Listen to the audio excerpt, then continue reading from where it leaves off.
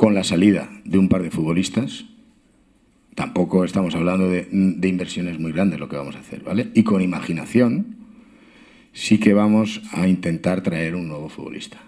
Un futbolista que necesita, eh, según la dirección deportiva y el entrenador, lo necesitan, según ellos.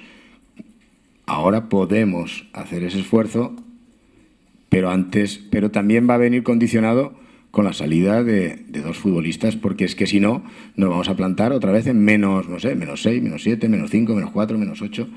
La corrección de tesorería, ya. Eso es lo que, lo que queremos hacer, pero que sí que, sí que vamos a intentarlo. Bueno, se está en valor barajando las dos cosas.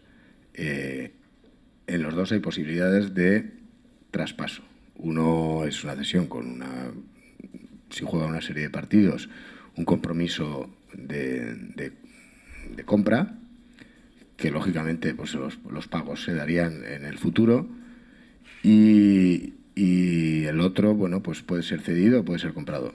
Eh, es que posiblemente nosotros hemos reducido considerablemente el coste plantilla, entonces posiblemente mm, habría que hacer eh, números bien hechos, pero posiblemente con la cesión de los dos eh, podríamos, eh, porque tampoco se paga, es decir, las compras no se realizan al contado, y, es decir, con el ahorro del coste salarial de los dos nos daría para pagar el primer plazo de este año de uno y el salario y el salario de ficha del otro.